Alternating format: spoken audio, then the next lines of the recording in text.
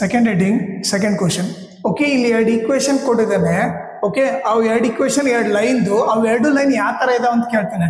Intersect ಆಗ್ತಾವ ಇಲ್ಲ parallel ಆಗ್ತಾವ ಇಲ್ಲ ಕೋಇನ್ಸಿಡೆಂಟ್ ಆಗ್ತಾವ ಅಂತ ಕೇಳ್ತಾ ಇದ್ದಾನೆ. ಓಕೆ ಅದು ಯಾವ ಥರ ಮಾಡ್ಬೇಕಂತ ನೋಡ್ರಿ. ಓಕೆ ಇಲ್ಲಿ ಎರಡು ಈಕ್ವೇಶನ್ ಕೊಟ್ಟಿದ್ದಾನೆ, ಹೌದಾ? ಒಂದೇನು nine X plus three Y plus twelve equal to zero okay ಇನ್ನೊಂದು ಈಕ್ವೇಶನ್ ಏನು ಕೊಟ್ಟಿದ್ದಾನೆ? Eighteen X plus six Y okay plus twenty four equal to zero ಎರಡು ಇಕ್ವೇಶನ್ ಕೊಟ್ಟಿದ್ದಾನೆ. ಓಕೆ ನಮಗೆ two variables equation standard form ಏನು? A X plus B Y plus C equal to zero ಇಲ್ಲಿ ಕೂಡ ಏನು ಬರ್ತೀವಿ?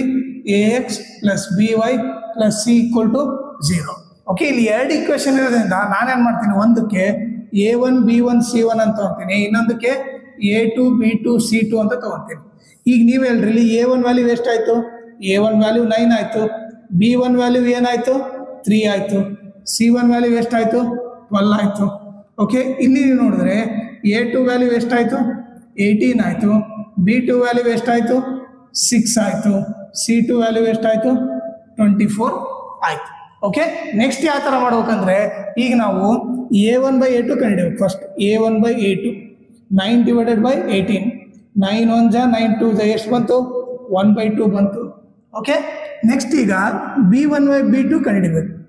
B one by B two ಏನು? Three divided by six B two value six three one ಜಾ three two ಜಾ ಇದು one by two ಬಂತು. ಲಾಸ್ಟ್ ಏನು ಕಂಡಿಬೇಕು C one by C two twelve by twenty four ಇದು ಕೂಡ ನೀವು ನೋಡಿದ್ರೆ ಟ್ವೆಲ್ ಒನ್ ಜಾ ಟ್ವೆಲ್ ಟೂ ಜಾ ಇದು ಕೂಡ ಒನ್ ಬೈ ಟು ಬಂತು.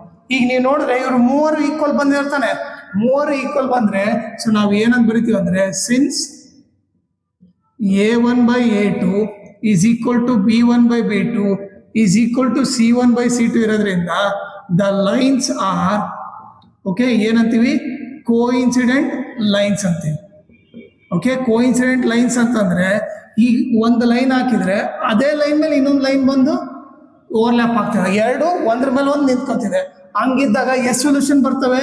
ಹಂಗಿದ್ದಾಗ ಇನ್ಫಿನೈಟ್ಲಿ ಮೆನಿ ಸೊಲ್ಯೂಷನ್ ಬರುತ್ತೆ. ಓಕೆ ಇನ್ಫಿನೈಟ್ಲಿ ಮೆನಿ ಸೊಲ್ಯೂಷನ್ ಬರುತ್ತೆ. ಸೊಲ್ಯೂಷನ್ ಬಂದತ್ತಂದರೆ ಅದನ್ನ ಏನಂತ ಕರಿತೀವಿ? ಕನ್ಸಿಸ್ಟೆಂಟ್ ಅಂತ ಕರಿತೀವಿ. ಓಕೆ ನಾನು ನೋಡ್ರಲ್ಲಿ ಕೋಇನ್ಸಿಡೆಂಟ್ ಲೈನು ಎಷ್ಟು ಸೊಲ್ಯೂಷನ್ ಬರ್ತವೆ? ಕನ್ಸಿಸ್ಟೆಂಟ್ ಆಯ್ತಾ ಇಲ್ಲ ಅಂತ ಮೂರು ಒಂದೇದ್ರಲ್ಲಿ ಮಾಡ್ತೀನಿ.